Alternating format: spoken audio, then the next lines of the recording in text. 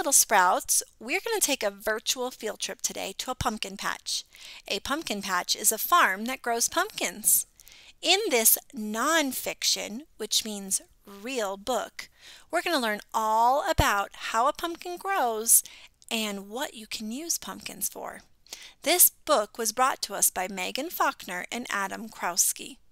A Day at the Pumpkin Patch. Autumn is nearly over.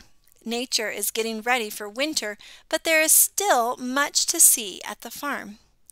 Autumn is another name for the season of fall. We love the sweet, crisp apples, colorful decorative corn, plump autumn raspberries, and most of all, pumpkins. This is our guide. She will show us different kinds of pumpkins, explain how they grow, and tell us about the ways people use them.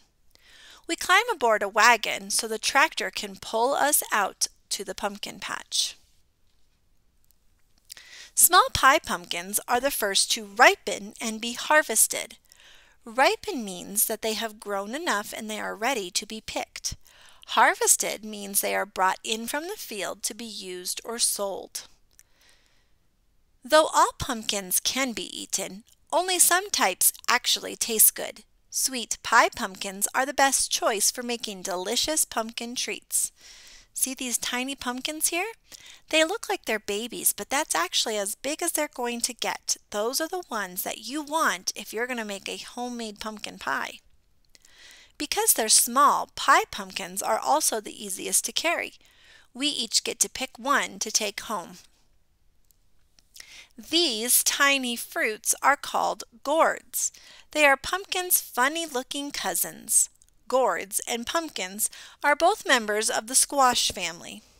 We have a contest to see who can find the strangest looking gourd. Next, we visit the patch that has the pumpkins we know best, the ones that will become jack-o'-lanterns. Much bigger than pie pumpkins, these pumpkins are too heavy for us to lift by ourselves. It's hard to believe they grew from tiny pumpkin seeds. We gather round to learn more about pumpkins. Fruits can grow in four different ways. And believe it or not, pumpkins are a type of fruit. Fruits can grow on a tree, bush, cane, or vine.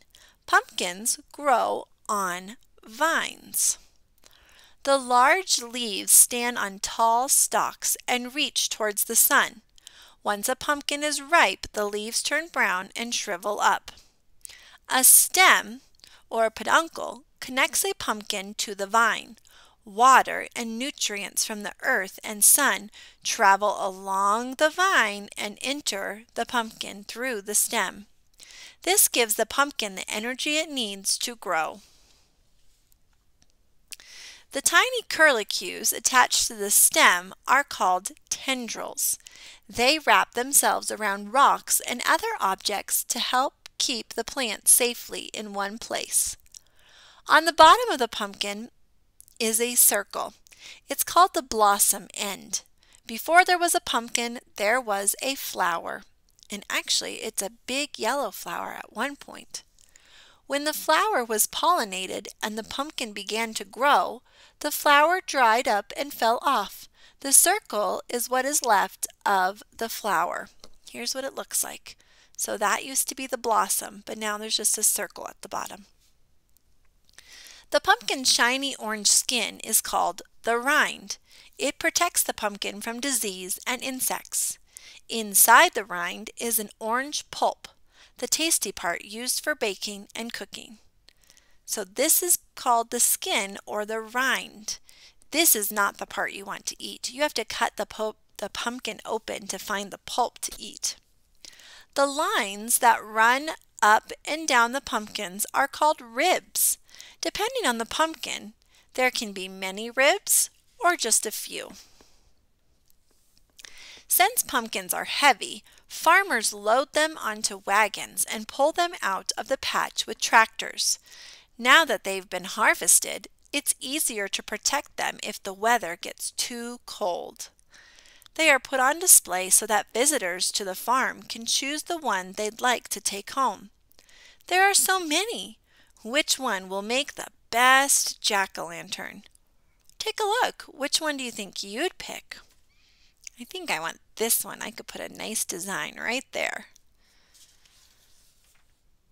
The biggest pumpkin of all is the Atlantic Giant. Not only is it the largest pumpkin, it's the biggest fruit on earth.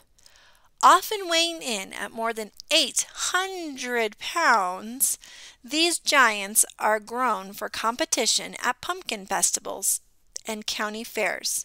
Since giant pumpkins are about 90% water, they aren't good for eating, but they make great jack o' lanterns and boats.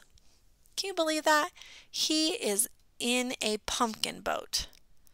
Look how big those are. Oh my goodness. We've learned a lot about pumpkins. Now we get to have some other fall fun.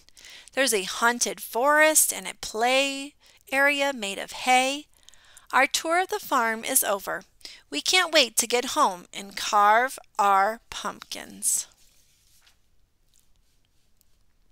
Here's some tips for making a jack-o'-lantern. Once your pumpkin is clean on the inside and dry on the outside, the fun can begin. Draw a face on the side of the pumpkin that has the fewest bumps and bruises. Ask an adult to cut the circle around the stem. That will be your lid. Now it's time to pull out all the strands of seeds. They're cold and slimy. We save the seeds to make a special snack later. When only the shell is left, carve out the face that you drew. Now it's a real jack-o'-lantern. Here is a recipe if you want to make the pumpkin, roasted pumpkin seeds, which you can eat and enjoy. And there's a picture of some really cool jack-o'-lanterns. Friends, I'm sure that there are probably pumpkin patches close to you. If you have a chance, it's a great place to go and have some fun and pick out some great pumpkins.